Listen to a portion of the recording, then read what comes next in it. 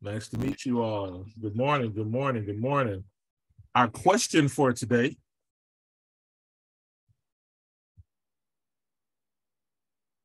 Our question for today, in honor of Black History Month and Black Futures Month, uh, would you rather talk to a Black person from the past or a Black person from the future? Tell us why in the chat. Wow. Would you rather talk to a Black person from the past or a Black person from the future? Hmm. My daughter, who is nine, says she'd rather talk to a per- black person in the future because she wants to know if she's rich or not. I guess I can't expect my nine-year-old to be really deep, I guess.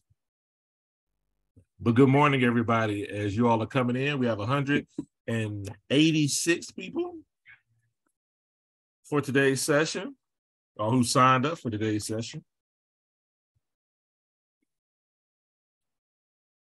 As you enter into the um enter into the nerd session, please introduce yourselves, where you're from. Put it in the chat, please. And our question is, would you rather talk to a black person from the past or a black person from the future and why?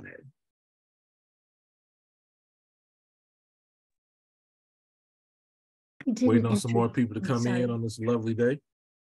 I didn't introduce myself when I came in, sorry. Linda Steet, SUNY Geneseo. Good morning, Miss Linda. How are you doing? Great, thank you. Good morning. My name is Chantel Browning Morgan. I'm a secondary school teacher in Windsor, Ontario, Canada. Hey, Chantel, how are you doing? I'm well, LaGarrett. How are you this morning? I'm doing well. You coming back to Buffalo this summer? I sure am hoping to do so. All right now. Good morning, everyone. My name is Corinthia Williams. I'm from Magnolia, Delaware, and I am the um, educational liaison for the state of Delaware for juvenile delinquents. Good morning, Miss Corinthia. How are you doing? I'm fine, and how are you, sir? I'm doing well. I'm doing well. Doing really good. It's Black History Month. It's cold as the Dickens up here in Buffalo, New York, but we're good. We're good.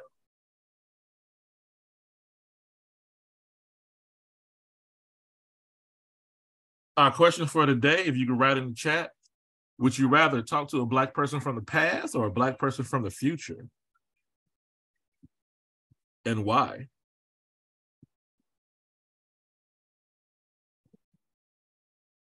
Hi, I'm Brian. I'm from uh, University at Buffalo. Hi, Garrett. Hey, Brian, how are you doing today? Thank you for joining us. Yeah, good to see you.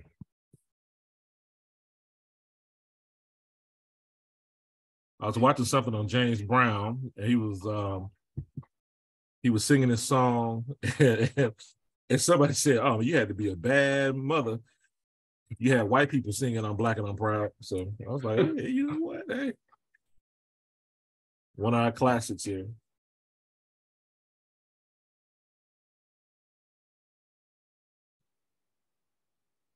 All right, about to go ahead and get started.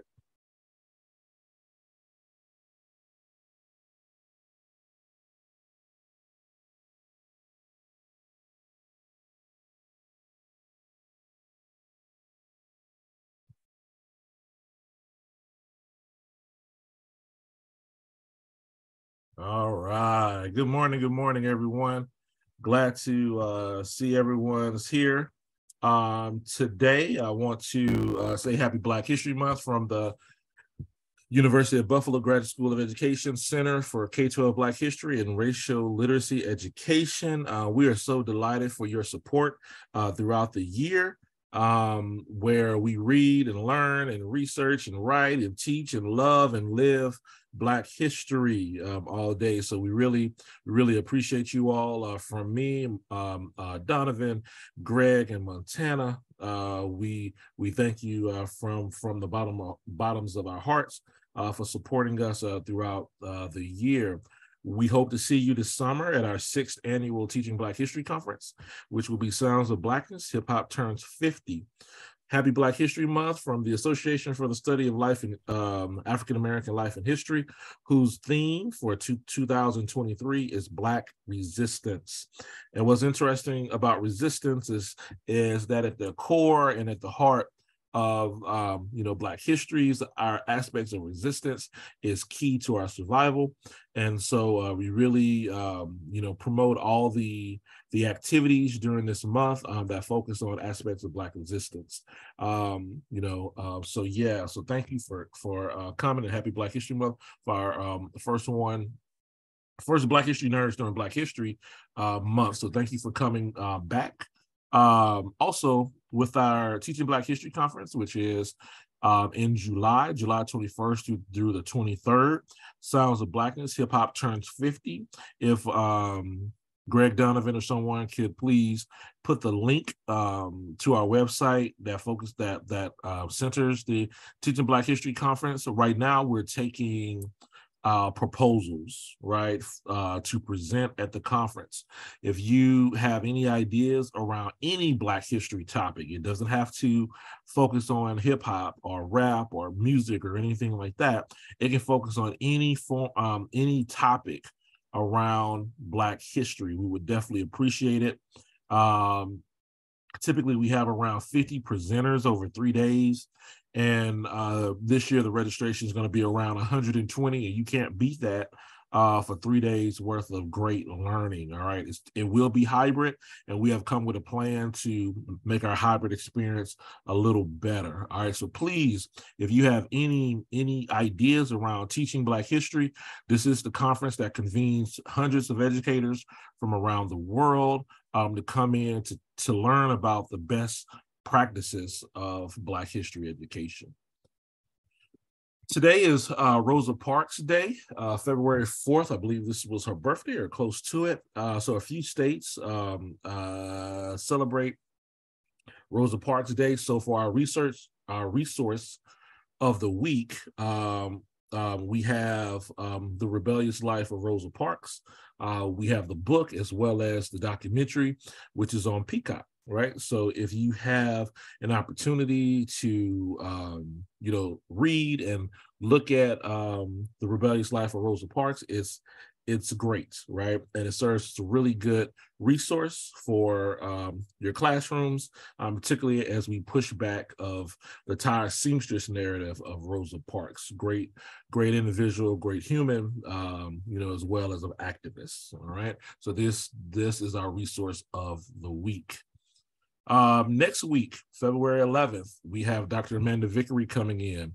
Um, Hands That Pick Cotton Now Pick Public Officials, Black Women's Geography and Activism of uh, Fannie Lou Hamer. Um, you know, of course, uh, please sign up um, and register for that, and we will see you all next week. But today, we have From History to Destiny. What does it mean to be Black? Dr. Uh, Chike Akua uh, from Clark Atlanta University and all the other things that he does. And, and I'm sure he's going to, you know, talk about all those particular aspects. So before further ado, today, you know, of course, you all haven't um, uh, signed up to hear me talk. So um, I'll definitely pass it along, have him introduce himself, and then go ahead and get started. And, you know, any questions, put them in the chat uh, Greg and Donovan in Montana. They'll they'll curate those um, particular questions, uh, particularly if you don't want to wait towards the end. All right. Any conversational pieces you can put in the chat as well, and we'll try to um, you know respond to them later. All right. So before further ado, Dr. Kua, welcome to Black History Nerds. We're just a bunch of nerds on Saturday morning that learn Black history, and I'm your HNIC. So thank you, sir welcome to our feature nerd for today. Thank you so much. It's a blessing to be here. Uh, anytime I can be in the presence of educators, uh, because at my core, um, that's all I am. Is I, am a teacher. Um, uh, I always like to begin with what time it is. Uh, a great African American uh, scholar by the name of Dr. Benjamin E. Mays said it's 11:59 on the clock of destiny, and life is like a minute only 60 seconds in it. Forced upon you, can't refuse it. Didn't seek it, didn't choose it, but it's up to you to use it. You'll suffer if you lose it. Give account if you abuse it. It's only a minute, but eternity is in it. And with that minute, you, me, and we can change and transform the world. Um, it's always an honor and a privilege to be on here. And when Dr. King sent me the invitation, I was very excited because I had uh, seen some things that he was doing online. And um, so let's get right into it. I want to first bring you greetings from Clark Atlanta University, um, one of our great HBCUs where I'm honored to serve on the faculty in the Department of Educational Leadership. Um, I also want to bring you greetings from the Teacher Transformation Institute, where we use standards-based, research-driven, culturally relevant instructional strategies to increase student achievement. Now, those are just some big sounding words to say that our children are brilliant, but many of them are in schools and school districts where they're seen as a problem rather than as people. And so we go into districts and we provide professional development, culturally relevant materials, large group instruction, online curricula, social emotional learning focus groups, strategic planning, and model teaching lessons. And we have all sorts of uh, wonderful team members who provide support in what area, whatever area is needed in that particular school or district. Um, these are people, as you look at these pictures, we work with very diverse groups of educators and leaders, and these are the ones that have had the Akua experience or the teacher transformation uh, or the Leadership Unlimited experience. Um, and we enjoy, you know, working with teachers and leaders. Um, and what we found is that when they receive the right kind of, of training, then they're excited to go and reach our children, okay? Uh, we work directly with students as well, uh, because one of the things that I found is I didn't want to be one of those professors uh, that would come in and provide professional development who had not been with children or seen children in a long time and couldn't relate to what I was going through as a teacher. I spent 14 years as a middle school teacher. Uh, also had some experiences on the elementary and high school levels as well. Um, I'm going to be sharing some information that you may want to share. So have your phone ready or be ready to take some screenshots. I feel confident that you're going to want to see some of these things. Uh, so, you know, feel free to, to post what you see and tag me on it. Would love to see it. All right. Uh, it's always good to see a, a, a running narrative of how people respond to the information that we share. So definitely feel free to do that. I want to encourage you to do that. All right. So we're going to talk about from history to destiny. What does it mean to be Black? From history to destiny, what does it mean to be Black? And I'm, I'm asking this question, what does it mean to be Black? Because I think there are a lot of misconceptions about what it means to be Black. And I think we're in need of a radical redefinition and reevaluation and reassessment of what it means to be Black. It's customary when African people come together that we begin uh, by giving honor to our ancestors because there's an African American, there's an African proverb which says, if we stand tall, it is because we stand on the shoulders of our ancestors. Or as Dr. Jacob Carruthers has said, indeed, our stride is wide because we're walking in the footsteps of giants. One of the giants in whose footsteps I'm attempting to walk and on whose shoulders I'm endeavoring to stand tall is none other than Dr. Asa Hilliard III, uh, just a, a, a monumental African educator, just a tremendous person. If you're not familiar with him, you definitely want to familiarize yourself with him. I'm going to be speaking from the content of two of my books today. First one, Education for Transformation, Keys to Releasing the Genius of African American Students, and Honoring Our Ancestral Obligations, Seven Steps to Black Student Success. All right. Um, this is a very visually driven presentation, and you've heard it said before that a picture is worth a thousand words, but you're going to have to look with more than just your physical eyes. You're going to have to look with what ancient Africans called the ujat. The ujat is the eye of all seeing enlightenment, the eye of intuition. Some people call it the third eye, but it's really the first eye, the eye of intuition, that allows us to see beyond the physical realm and into the mental and spiritual dimensions. Even as the great poet Lister Middleton said, sharpen your eye and tune your ears so you know what you see and understand and what you hear. Now, uh, before I get into it, I must give you a warning. You are in a danger zone. This presentation has been specifically designed to blow your mind. And, and I share that with you up front because I want to know when you're having these different emotional reactions to what I'm about to share with you. I've had the opportunity to share what I'm about to share with you all over the country and even internationally. And the response is always great shock and awe at what we have not learned about history uh, once it's presented to us. All right. So don't believe a word I say, though. Do your own research. Okay. So let's get into it. I want to take you back to a time when Black people led the world in scientific innovation, literary production, and wealth creation.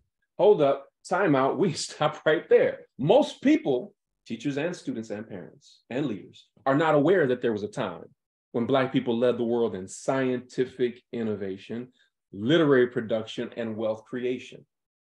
But let's go ahead and get into it. My presentation is broken down into sessions. Each session is maybe about 10 minutes. Um, and then at the end, we'll, we'll do some Q&A. But session number one says, who were the ancient Kemites and what did they look like? Who were the ancient Kemites and what did they look like? We know that all life on planet Earth began deep in Central Africa, where that big red arrow is pointing near Uganda, Kenya, and Tanzania. All right.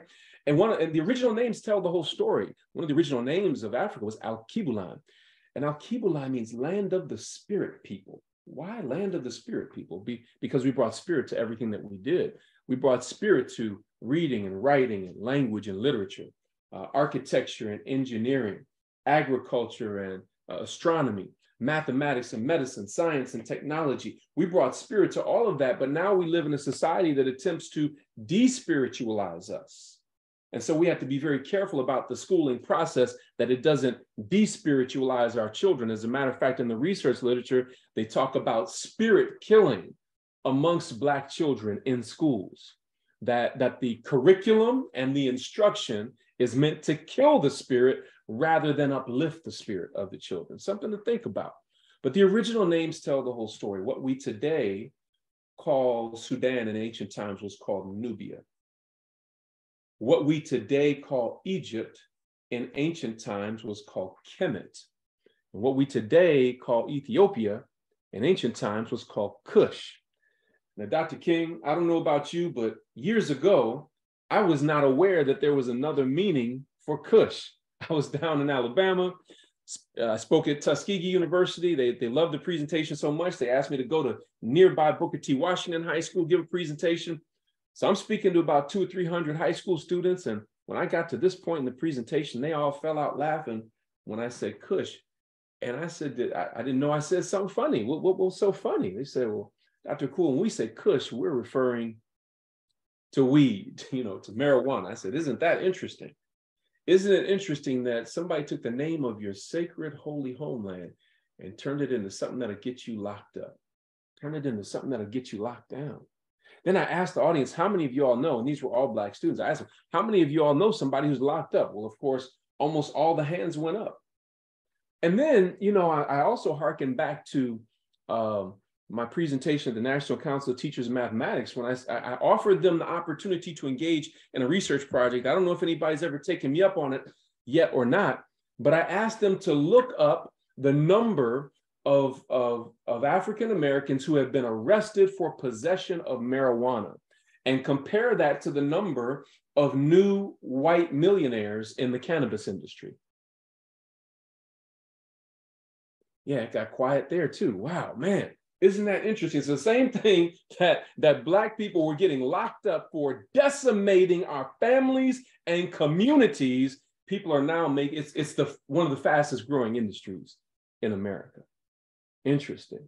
But then we also had to take it to science class because do you know that all the chemicals that you need to get high are already in your body? We just haven't been taught the African sacred science of how to trigger the release of those chemicals. Otherwise, you could be high all the time. I'm I'm high right now, you know, but I but I haven't been smoking. All I've been doing is drinking my water. All right. And so uh, these original names tell the whole story. The entire Nile Valley of Africa was a high-tech civilization. Okay. And, and all of these were great empires.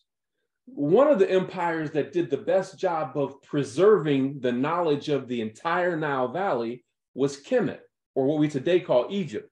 And in Kemet, we have the, the best documentation of what was going on in the region. And so I want to focus in on there for a little bit. My friend Anthony Browder has written the book Nile Valley Contributions to Civilization, and he shows us the original uh, construction of the word Kemet in the original language of Medu Neter. Most people look at this and they would say that's hieroglyphics. Well, hieroglyphics is a Greek term, and this is not Greek writing. The original term is Medu Neter. And here we see the word Kemet written out in Medu Neter. Now, they did not use vowels the way that we use vowels today. Scholars will come along later and add vowels for ease of pronunciation.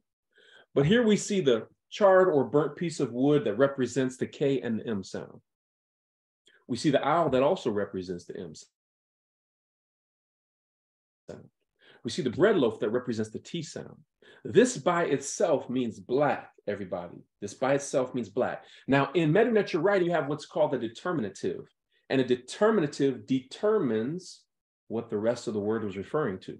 So at the bottom of your screen, says this by itself means black, but X with a circle around it means nation. So what does that mean together? Black nation. Everybody, I promise you, you're not going to see this on the History Channel. I promise you, you are not likely to see this in public school textbooks because of the falsification of who the ancient Egyptians were. We've all seen movies, uh, documentaries, even cartoons that depict the ancient Egyptians as anything but black. And so I want to give you uh, some, some things to consider. I had to go back to make the point and choose some statues and pictures, uh, statues of ancient Africans, and put them alongside of modern day African Americans to approximate their appearance so that you could see what these people really look like. And then we'll talk about what they did. Now, I'm just approximating the appearance here. So, for example, when I look at King Mentuhotep, and I look at the face, I look at the, the nose, the lip, I said, man, he looks, he looks a little bit like LeBron James. Hmm. And then when I look at the face of King Amenhotep III, take a look at the high cheekbones, the nose, the lips. I said, man, he looks a lot like a, a, a former NFL player by the name of Adrian Peterson. And again, we're just approximating the appearance here. Take a look at Queen Tiye here, the fame of the famed 18th dynasty of ancient Kemet, who ruled alongside her husband, Amenhotep III. Now, I don't know if you've seen this particular picture before, but you have seen this face many, many times before. You just didn't know what you were looking at. So take a careful look because in looking at the face of Queen Tiye, you didn't know that you were really looking at the face also of former First Lady Michelle Obama. Again, we're just approximating the appearance of who the ancient Kemites were and what they look like. When I see the profile picture of King Khafre, I say, man, I've seen that face. Where have I seen that face before? Oh, he looks a lot like Kobe Bryant. Interesting. And what about Amenemhet? King Amenemhet. Take a look at the uh, the nose, the, the wide nose, the thick lips, even though it's been chiseled off, the, the nose and the, the locks. You know, in my next life, I'm gonna have some locks like that. But right now, I'm part of the bald head brotherhood. And I gotta rock what I got. But when I saw this picture of him, I said, man, he looks an awful lot like uh, Dunta Robinson used to play defensive back for uh, for the Atlanta Falcons. And so what's interesting, when I look at the, the face of Queen, Queen Amenertis, I see Lupita and Nyong'o. When I look at the face of King Narmer, look at the high cheekbones, the nose, the eyes, the lips, bears a striking resemblance to the gospel singer Kirk Franklin. Okay, uh, let's go a little further. Take a look at King Senwosret. King Senwosret, when I saw this, I said, man, he looks a lot like the actor Mahershala Ali. Interesting. Now, here's the challenge that I have, Dr. King. When I look at us, I see kings and queens. But the way our children have been socialized through miseducation and skillful media manipulation, they see themselves as niggas and bitches. Please forgive my language, just trying to make it plain and keep it clear. Again, I see kings and queens, but they see themselves as the N word and the B word as a result of miseducation and skillful media manipulation. So now these um, images that I've shown you are just to approximate the appearance. But let's dig into the science with one of our greatest scientists, Dr. Cheikh Anta Diop, from out of uh, from Senegal in West Africa. He was a historian, linguist, physicist, anthropologist, political scientist, and activist, multidisciplinarian who came up with 12 areas of empirical evidence to demonstrate that the ancient Kemites were indeed Black people. One of those areas was called the melanin dosage test. You know, melanin, the, the substance that's in our skin that gives it its rich pigment. Well, most science books don't teach anything about melanin for in, in public schools. But interestingly, he said, if you will give me access to the royal mummies, he went to the, the Louvre Museum in Paris where they had the stolen mummies. And he said, if you will give me access to the royal mummies of Kemet, I can prove scientifically that they were in fact Black people. I would take a skin sample from the mummy, I would put it in a solution of ethyl benzoate, put it under my microscope, and when you shine a light on it, it causes the melanocytes uh, to become fluorescent. The melanocytes are the cells in the skin uh, that hold the melanin. And you can literally count the number of melanocytes to determine what the skin tone of the person is. They refused to give him access to the mummies. But for two years, he was unrelenting, and they finally gave him access to the mummies. Take a careful look at this picture of Dr. Cheikh Anta Diop because that's going to be important. Because in his research findings, here's what he said they were black, black, more black than I. But here's where it gets really deep, everybody. I have found that many other people have done the same research before me, but they never published their findings. The reason I know this is because I found that the skin of many mummies had been completely scraped. You would be amazed at the great lengths people will go to to make sure that our children do not know the truth about history. And that's another reason why I'm so excited to be a part of the Black History Nerds this morning. All right. So that was session one. So now that we see who the ancient Kemites were, what did the ancient Kemites accomplish? Uh, now that we see what they look like, well, we can start with Imhotep. Imhotep was the first recorded uh, doctor in human history. He was the architect of the step pyramid, mathematician, advisor to king uh, to the king Zoser. He was a multidisciplinary genius. Um, I like to lead trips to uh, to Egypt. I've had the opportunity to lead over 1,000 young people and adults on these trips. And so I do primary on-site research, right? So every time you see one of these pictures with my face on it, replace that face with your face because hopefully at some point you'll be able to go back and see it for yourself. All right. So here we have a picture of, uh, of the Great Pyramid. And I want to stop for just a second here. Which of the, the largest pyramids in this picture, A, B, or C, which one do you think is the Great Pyramid? Would you put it in the chat box? A, B, or C? A would be the one on the left, B would be the one in the middle, C would be the one on the right. Would you just drop it in the chat box? Which one do you think is the Great Pyramid? Thank you so much, Jerry Johnson. All right, Elizabeth, Benjamin, Brian, Chantel, Romana, Dory, wonderful. I see all the answers coming in. Great, great, great. All right. So a lot of you were actually like me. Prior to going to Egypt, I always thought the one in the middle was the Great Pyramid. However, I discovered that it's actually C, the one to the far right. And what I noticed uh, later on is that the one in the middle appears to be the largest, but it's actually closer to the camera and if you look over here in the bottom right, it's sitting on higher ground. Okay. So the Great Pyramid is actually three, uh, 481 feet high, covering an area of 13 acres. It is absolutely massive. The only one of the wonders of the world that is actually still standing. Interesting point. Uh, it's 201 stair steps to the top. It's it, it's absolutely amazing. Okay, uh, let me get back in here to my PowerPoint. All right, there we go. And so here we see the Ahmes Mathematics Papyrus. This is the oldest math textbook in the world.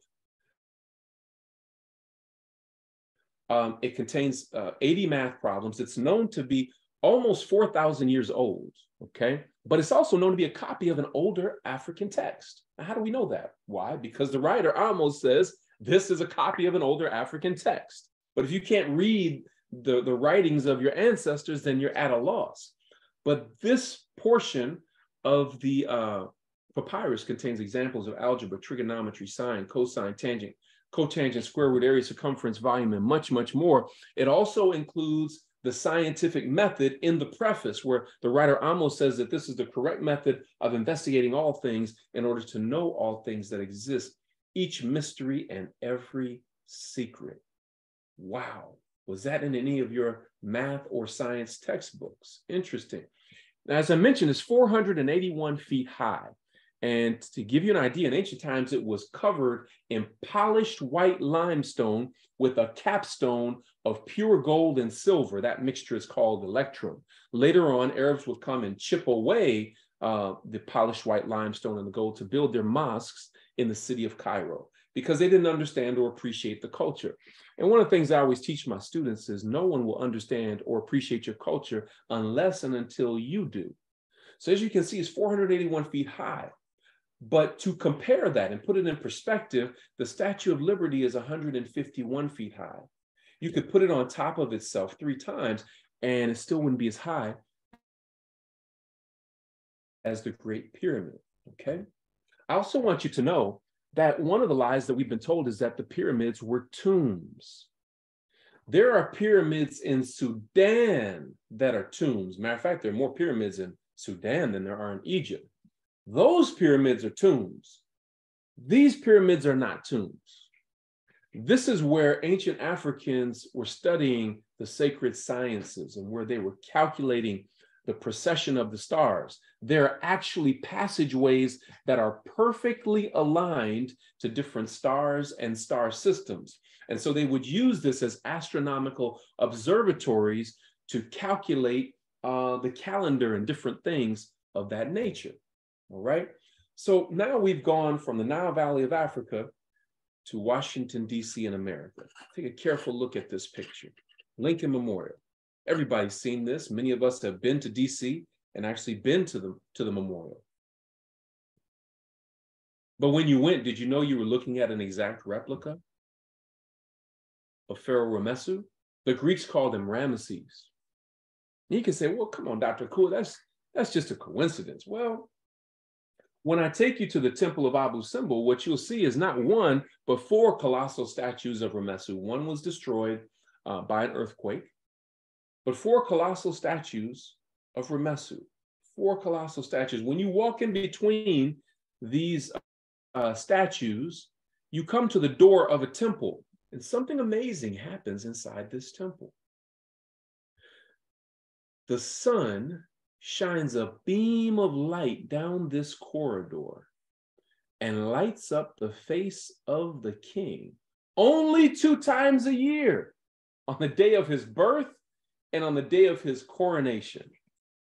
Now, I ask you, what kind of mathematical, architectural, engineering, astronomical mastery did these ancient Africans have to have to orient a temple in that way? When we go a little bit further, we find also that this temple was not built from the ground up. It was actually carved out of the side of a mountain. In other words, they dug into the mountain, chipped away all of the excess rock. You thought these things were statues here. Uh, these are actually pillars holding up the structure as they were chiseling away. So they got rid of the excess rock and, and then designed the temple, carved in the writings of the Medu Neter from floor to ceiling and even on the ceiling. But also note this remember, we said there are four colossal statues of Ramesu. Where have I seen? Hmm, four faces carved into the side of a mountain. Where have I seen that before? Wow. Did you know the founding fathers of America studied African history very thoroughly because they wanted to build a nation as great as ancient Kemet. And they knew they could not do that without African people, not just through slavery, but African knowledge. Very important distinction that needs to be made. They were after African knowledge and used a great deal of it.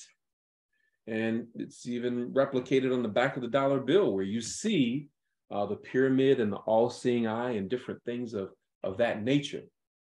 Here we have the Washington Monument, tallest structure in Washington, D.C. But where do you think the design came from? If you said ancient Kemet, you're absolutely right. Which is interesting that they would memorialize George Washington, who owned African people as slaves, but they used an African symbol of strength and stability to memorialize him. Interesting. I took this picture of this uh, uh, monument. The ancient Africans called it a tekhen. The Greeks called it an obelisk. But I took this picture with the sun rising behind it because, among other things, it was used as a sundial.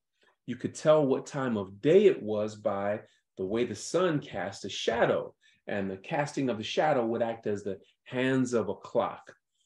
It's interesting when you talk about African technology, people are like, well, that's that's interesting, but what does that have to do with modern technology? Well, the word technology comes from the Greek word teknos, and the Greek word teknos comes from the ancient word tekhen, right? So here we see the Washington Monument in front of a reflecting pool. Imagine in my amazement when I get to the temple of Amun Ra, and what do I see? There's a reflecting pool and there's a tekhen. Wow. As Ashra Kwesi said, man, somebody knew something about us that we didn't even know about ourselves because our history was intentionally kept from us. Our history was intentionally kept from us. I'm gonna stop right here for just a moment. I, I, just I need some adjectives or phrases, some brief adjectives or phrases just based on what I've shown you so far. Throw it in the chat box. Give me some adjectives or phrases based on what I've shown you thus far. Did you already know this? Was this interesting to you? Was it shocking to you? Was it surprising to you? Go ahead and throw it. Oh, wow. Okay, check it out. Dorinda says, still working on keeping the history from us. Jerry says, enlightening. Jerry also says, mind blowing. Shelby says, amazing, powerful, empowering. I'm looking at all amazing, astounding, empowering. Do you think our children should know this? Yes or yes? Put it in the chat box. It's okay if you want to say no, but put it in the chat box. Janet said, I spun around like four times in my kitchen. Yeah, keep your eyes on the screen. It's, it's about to get even deeper in just a minute, Janet. But yeah, do you think our children should know this? All right. I'm seeing yes, absolutely. Children need, need to know the African origins of modern civilization. Yes, yes, yes, says Zanita. Thank you so much. Jerry says, Lord have mercy. All right. Yeah, it's imperative. I agree. It is imperative. All right. So let me go back because what I want to share with you is I want to share with you um, another connection. So I'm going to tell you a little bit about Reading Revolution Online because as a teacher, uh, we need resources, and that's what I'm about. So uh, we're going to have a good time while we're here, but when you leave here, you need resources. And one of them is Reading Revolution Online. So you can go to readingrevolution.org to learn more about that. I'm going to play you something uh, from it, but I'll I'll go ahead and put something in the chat box for that right now. All right, so it's readingrevolution.org. All right, so you can check that out. Um, one of the other things that I want you to be mindful of is the intentionality behind covering up the truth about uh, our history and culture. This is something all children need to know. But you know, over the years in doing these presentations, I've had some people say, well, this is really interesting, Dr. Akua, but African Americans were taken from West Africa, not East Africa. I said, well, it's not incorrect, but it is incomplete. And so that leads to session three. Session three we asked the question, um, give me just a second to get my PowerPoint back up. But in session three, we asked the question, what is the relationship between African Americans, East Africans, and West Africans? So bear with me for just a moment. Uh, give me just a second here. We're going to get it together. Righty.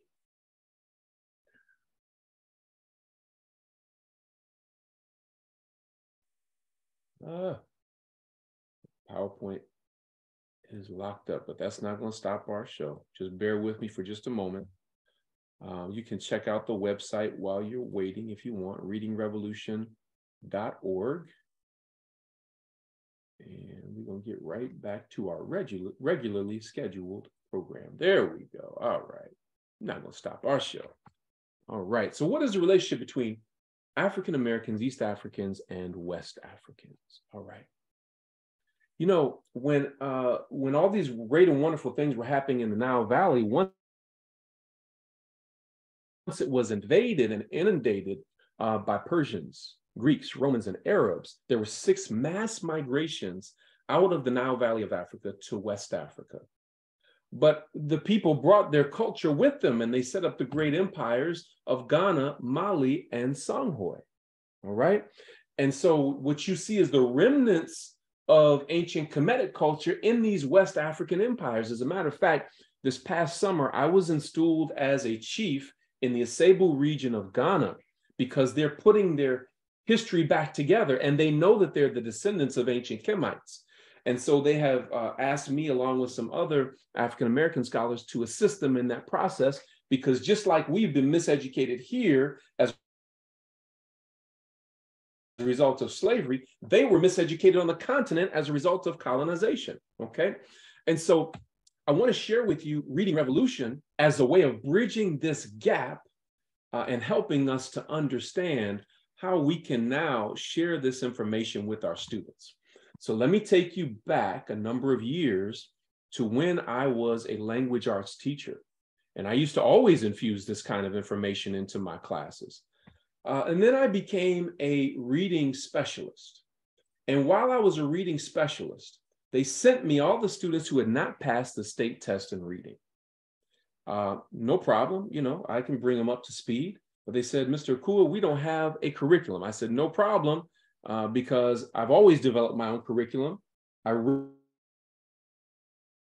rarely, if ever, taught from the curriculum resources I was given to teach from because it didn't meet the needs of the students. So every day I would do a brief write up of a uh, Black hero or shero, ancient or modern from our history, a brief reading selection with 10 multiple choice questions.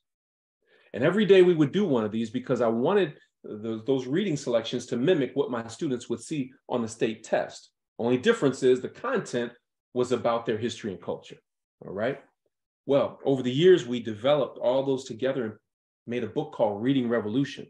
But in 2018, we began digitizing all of that content and we created Reading Revolution Online. It's a collection of 90 reading selections, 90 captioned videos, and then vocabulary, uh, comprehension, grammar, and writing activities to go with each one. So we left off talking about West Africa. I want to share some information with you about West Africa. I'm flipping through the different selections in Reading Revolution. And we're going to come to Ahmed Baba. All right. Now let me go out and make sure that my uh, that my sound is on. Okay. I'm going to play a three minute video for you, and then we'll start to wind down. Uh, but I'm going to play a three minute video. But while you're watching this video, I want you to remember this African proverb books are worth their weight in gold books are worth their weight in gold. And what I would like for you to do is I want you to be thinking about the books that you love or like that you highly recommend. All right. Um, but again, this this video is just under three minutes, and let's have a look. All right. Ahmed Baba and the University of Sankore. Uh, Dr. King, can you give me a thumbs up if you were able to hear that? Yes, sir. I got you. Thank you so much. Ahmed Baba and the University of Sankore. From the 1300s to the 1700s, Timbuktu was one of the greatest cities in all of Africa. Situated near the Niger River, this great center of learning was known throughout the land. It was also an important trading center for gold, salt, iron, and books. Timbuktu had quite a reputation for educational excellence and wealth, so much so that students and scholars came from all over Africa, Asia, and Europe to study at the famed University of Sankore. Being near the river gave people easy access to this thriving city of trade and education and attracted many people. Ahmed Baba was the president of the University of Sankore for 30 years. During this time, he upheld the African standard of excellence, running the university with great vision. Also during this time, he authored 42 books. This means he wrote more than one book per year in addition to his duties as president. Additionally, Ahmed Baba had over 1,600 books that he owned in his personal library. This shows that he knew the power of books to transform the mind. To Africans who introduced the art of writing to the world, books were sacred and holy. Books were valued so much that people paid for books using only gold. The book a person desired to purchase would be placed on one side of a scale, and gold dust would be sprinkled on the other side of the scale until the scales were balanced. Books in Timbuktu and in the empires of Mali and Songhai were literally worth their weight in gold. Because of this, the book industry was just as lucrative as the gold, salt, and iron industries. People who studied at Timbuktu learned law, medicine, and healing, writing, and literature, astronomy, the study of the stars, and agriculture, the study of farming, and much more. They took their knowledge and understanding of what they learned back to other parts of Africa, Asia, and Europe. Some even came to America. History also shows us that virtually every home in Timbuktu had an extensive library of books and manuscripts. All right, I'm going to stop that right there. If you learned something new, would you put that in the chat box? What what did you hear in that that you may not have already known? What did you hear in that that you may not have already known? Anything new or that you think our children should know? Drop it in the chat box. And let's see. Let's see. Kurt says most definitely. Elizabeth said, I had no idea the value placed on books. Right. Mary, books were worth their weight in gold, and people from around the world went to study at this. But yeah, Mary, you know, it's interesting. When I was growing up, we had a saying, man, I'll knock you all the way to Timbuktu. I didn't know that was an actual place, much less one of the great learning centers of the world where people came from all over Africa, all over Asia, all over Europe to study from these brilliant Africans. And when they got there, they didn't see those Africans, uh, they didn't refer to them as the N word or the B word. Very interesting. So one, one of the things that my teacher, Dr. Hilliard, said, he said, whatever you do, don't let them start our story in slavery. You never start a people's story at their lowest point. And if you do that, you leave out thousands upon thousands of years of African excellence. And so I had to completely re educate myself as a teacher because none of what I have shared with you, none of it did I learn in my bachelor's degree program, in my master's degree program, or in my doctoral program. You can go from from from preschool to postdoctorate and learn nothing about the truth of this history and this culture. And so I implore each of you to be willing to go on that journey to do that. Okay. Now, as I mentioned, a lot of what I was sharing uh, was uh, can be found in my books, uh, Education for Transformation, and my book, Honoring Our Ancestral Obligations. So give me just a second because I want to tell you the difference between the two. Education for Transformation is the book that shares the teaching methods, the teaching methods that master teachers use uh, to reach uh, African American students. Okay. And then uh, wanted to ask Is there one essential reading of Dr. Asa Hilliard we should read? Saba, The Reawakening of the African Mind. Saba is spelled S B A. Saba, The Reawakening of the African Mind would be uh, the book that you want. Uh, and interestingly enough, uh, the in mind. Whoops. He also has a book called The Teachings of Ptahhotep, the oldest book in the world, which is the oldest complete text in the world is Teachings of Ptahhotep coming out of the Nile Valley of Africa. Outstanding texts. Um, so thank you for that question. All right. One of the things that I want to share with you, I mentioned Education for Transformation shares the methods master teachers use to reach African American students and all students, okay? Honoring our ancestral obligations would be more for those that teach high school, college, for high school and college students and those that teach and lead them, okay? Both of those books have a QR code at the beginning of the book, which when you scan it leads you to uh, 15 brief videos sharing key concepts in the book, okay? But let me go back to Reading Revolution for just a moment. If you could have access to Reading Revolution, would you want access? Do you think your children, your students would enjoy and that you would enjoy utilizing Reading Revolution? We didn't even get a chance to look at the activities that go along with each of those videos and reading selections. But if the answer is yes, would you put that in the chat box? Because I just want to see who's interested. I know some some are interested because somebody's already logged into Reading Revolution. But as I'm scrolling down, I'm seeing a lot of yeses, most definitely. Okay, got something for you. All right. Uh, we're running a special now where you can have free 30 day access to Reading Revolution online. Yeah, but come on, Dr. Akua, what's the catch? There's got to be a catch. There is a catch, but it's real simple and it's something everybody can do. We're gathering data, right? And so, in order to gain access, free 30 day access to Reading Revolution Online, all we ask that you do is fill out this brief survey, which will literally take you less than two minutes. We're just gathering data to learn more about those that are interested in it. You'll have 30 day access to it, and we want you to use it with your students, especially during Black History Month. What, you know, we I'm Black through, you know, 24 7, 365.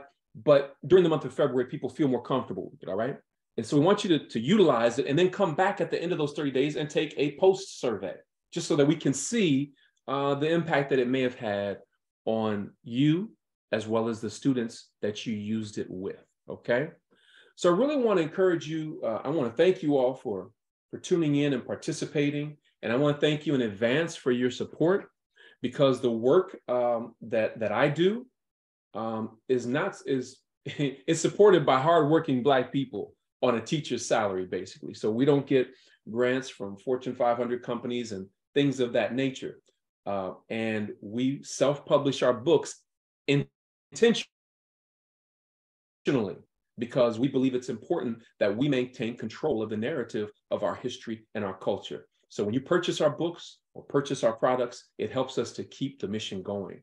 So I want to thank you all for your time and attention. And I hope I've stayed within the time and I'm, I'm here for any questions that you may want to ask. I'll turn it back over to you, Dr. King. All right, let's give Dr. Akua a hand for that wonderful presentation. Send us some love in the chat and all that good stuff here. So we do have some questions. First, I want to see if we have any questions from the chat. Uh, Greg and Donovan and Montana, did did you all see any questions um, in the chat for our um, for our future nerd today?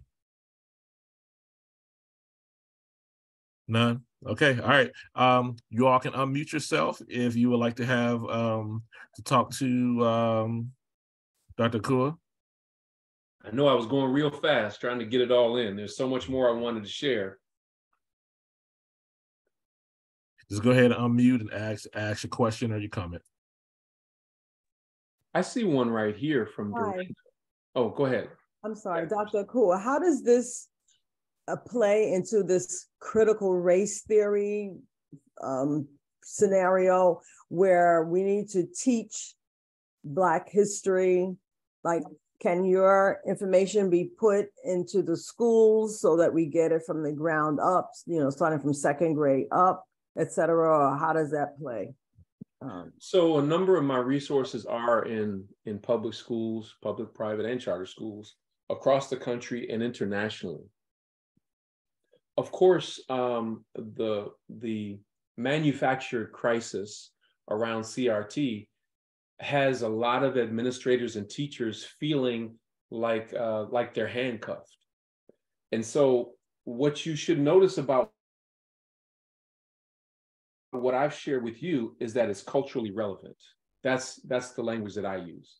If someone wants to press me on CRT, um, I don't necessarily need critical race theory to teach the truth. Now I understand critical race theory is a tremendous intellectual contribution because it was intended to center the views and the voices of Black people and other marginalized people whose voices had not previously been heard. Okay. Uh, and it was also attempt to bring to light a lot of um, historical and contemporary facts that were being intentionally buried. All right. Um, but critical race theory is a backlash against a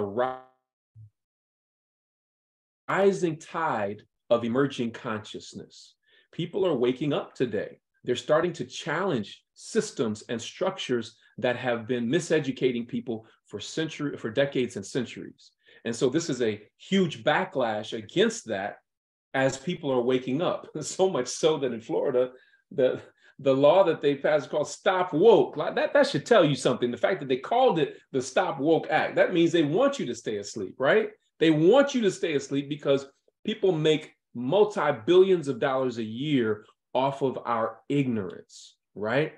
But I also tell young people it's not enough to be woke. I'm sharing this with my sons. My sons are 20 and 22. You can be awake, but still be in the bed. But as Malcolm said, you got to wake up, you got to sit up, you got to stand up, you got to clean up and go to work for your people. So it's not enough to be woke. We got to go to work. And so it's incumbent upon us as conscious and committed educators to take a stand and teach the truth. Now, this is my 30th year in education. I've been doing this from, from the very beginning and ran into a lot of roadblocks. I tell people I was in the principal's office more than some of my troubled students because I was teaching things that were outside of the prescribed curriculum, but I was getting results that others couldn't get. When they came to observe my class, my class was on task. They were on point, asking questions, answering questions. And oftentimes I was given some of the most challenging students that they couldn't handle. I'm a former teacher of the year. And so I had to make sure that I covered myself on all levels by demonstrating excellence because that's the ancestral standard. Um, so I hope that gives a little bit of insight into the, the whole thing behind CRT. It is going to take educators and leaders with tremendous moral courage to stand against this onslaught of, of, uh, of the backlash against CRT. Right? Thank you for that question. Other questions? Mr. Willis, go ahead. Definitely. Thank you, uh, Dr. King. Um, I definitely appreciate your presentation this morning. And you had made a fact or stated a fact that I was not aware of until today about hieroglyphics being a Greek word uh, being associated with the Medu Neter. Um, my question for you is: Do you are you aware of any African sororities and fraternities that existed before um, what we now call Greek fraternities that African Americans prescribe to nowadays. You know, I'm going through the same issue right now with uh, being a Prince Hall Mason and um, you know having our Knights of Pythagoras, you know, be the title for our young men's group when we know that uh, Pythagoras did not, you know, invent his theory as well. So, just do you have any knowledge around that that particular topic? So I'm gonna start uh, with the last thing you said first. Uh, Pythagoras Pythagoras. We know from research literature that Pythagoras studied in ancient Kemet for 22 years.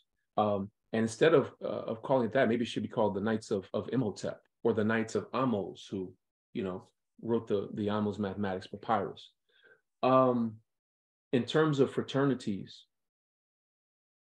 I do not know. I, will say this: I, I attribute a great deal of what I know to from being initiated into the Brotherhood of Kemet Nu when I was an undergrad, right? The challenge with us then was uh, we could not get a, a, charter from the university. So it was very difficult to keep it sustaining. around that same time, Morehouse College had a male fraternity called Kemet. And I don't think they're still active, but some of those brothers, you know, still meet, and you know, many of them are elders now, my age or older. Um, so it's it's challenging. So one of the things um, that I like to do is I like to teach my students about these origins in particular, so that they'll know even if they join a Greek letter organization, what the origins of them are. For example, when you go back to, and this is not an endorsement of any particular one, but of course the first one was Alpha Phi Alpha. And so if you go online for a Phi A, you, you're a Sphinxman, right? And the the bust of King Tut is one of their main symbols. But most of the rituals in all of the Black fraternities and sororities come out of um, the African initiation system, but many of them have been twisted.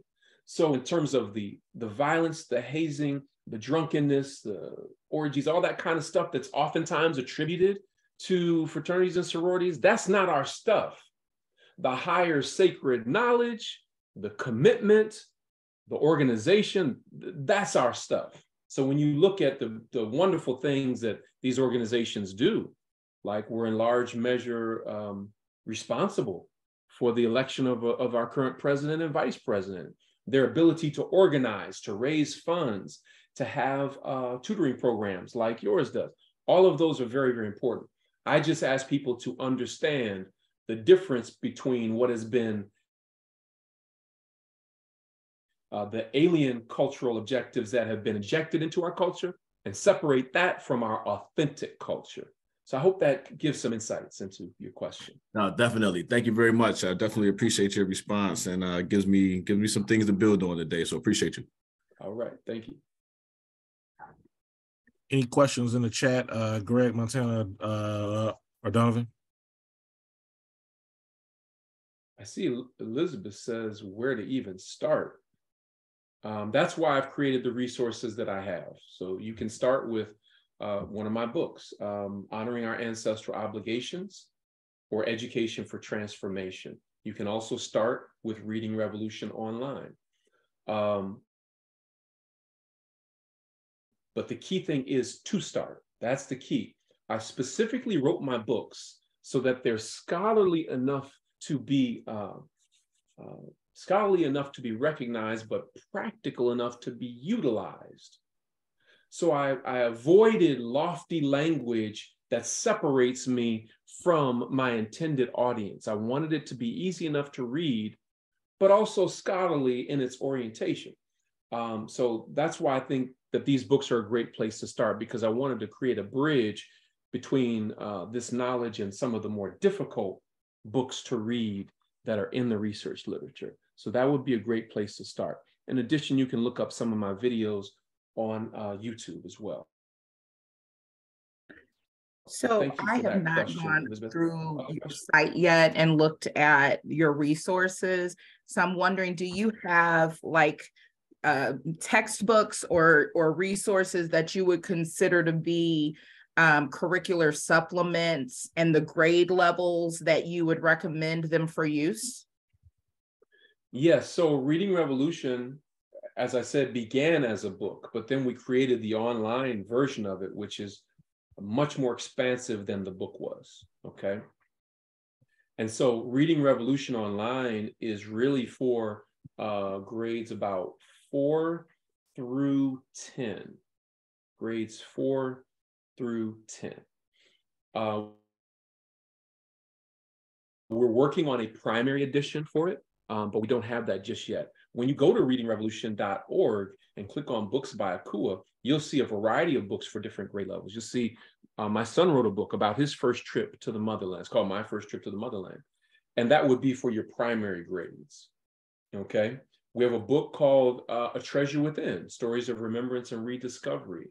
That's helpful in the primary grades uh, as well on up into middle school. Okay. We have a couple of books called Words of Power, volume one and two. Each one contains uh, 200 to 250 quotes and proverbs that share a lot of that mother wit and wisdom that we may have received growing up, but that many of our children are not.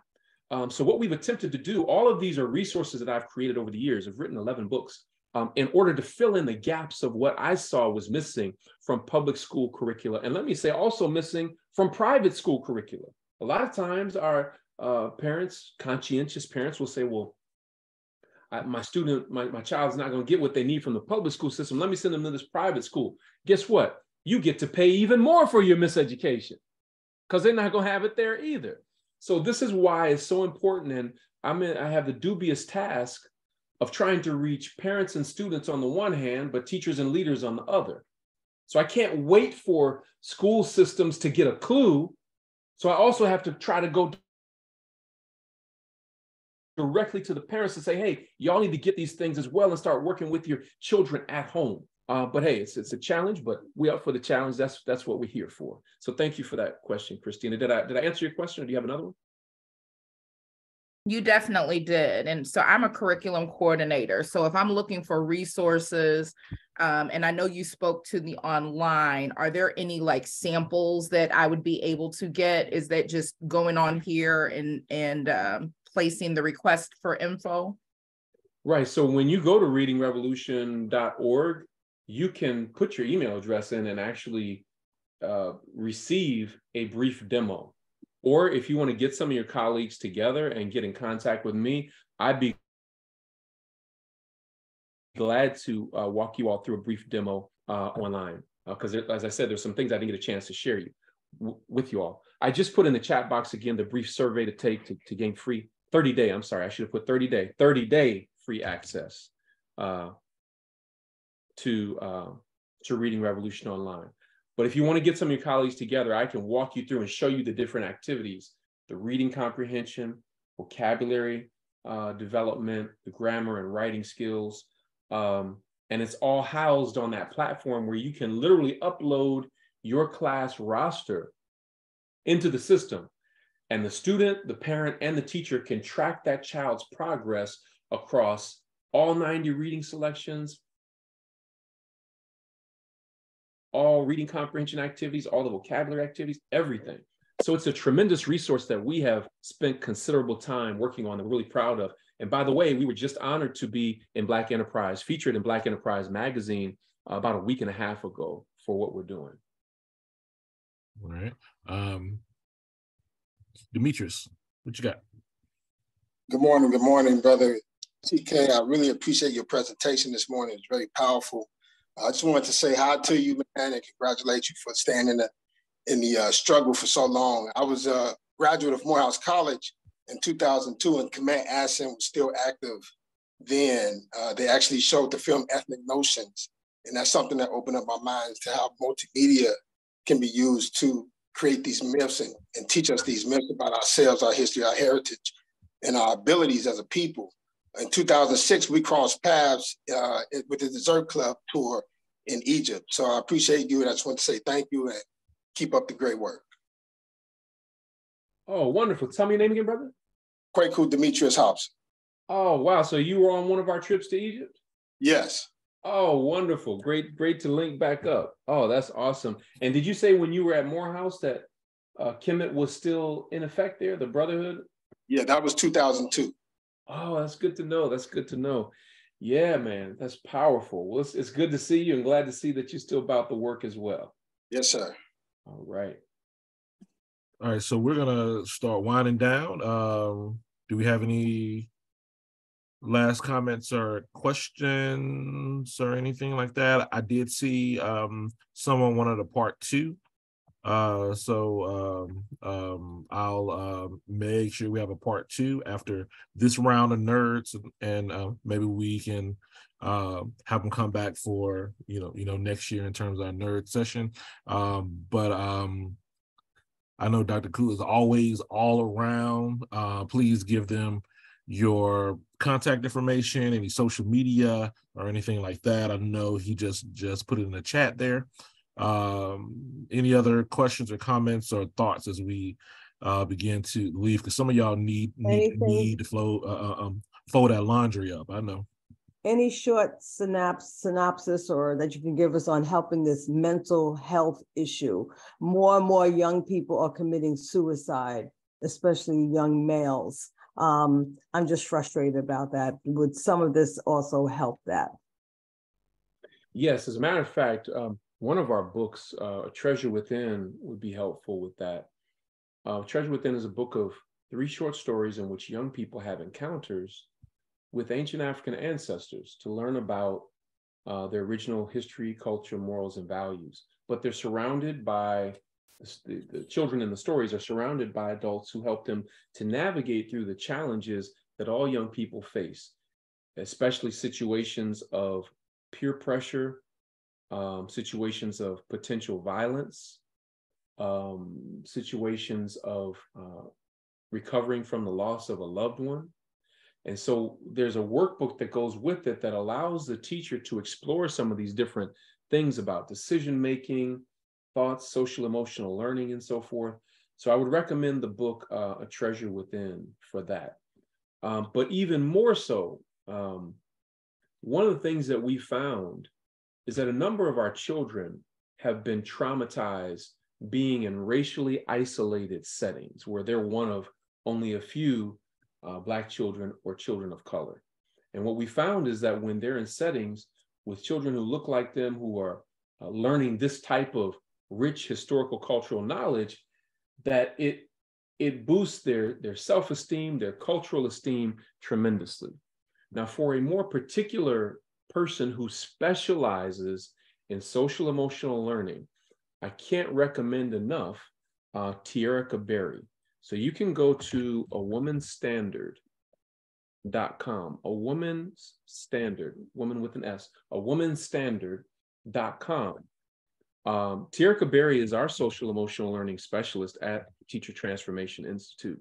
And she's absolutely amazing at what she does in terms of leading uh, professional development for teachers and leaders, um, small group, uh, social emotional learning groups for children, as well as uh, larger group presentations for them.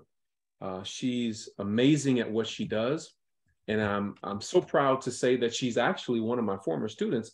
I taught her when she was in uh, seventh grade, but I like to let people know um, that her brilliance is all her own. She's just amazing at what she does. So that's a woman's standard, no apostrophe S. So, I mean, let me right here. Uh, a woman's standard.com. Yeah, so you can uh, get in contact with her for specialized training in social emotional learning. But I believe that all teachers and all leaders should have that kind of knowledge to be able to connect with our children. So very important. And I agree with you um, that that's something that we need to be very, very mindful of.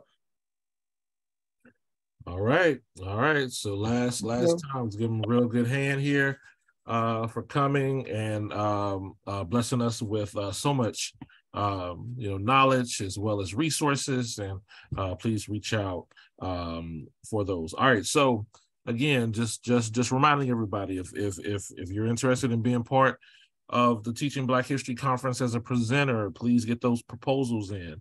Proposals are due the first Saturday of March, but uh, please get them in as soon as possible. Uh, please put that website in the chat again, um, guys. Thank you.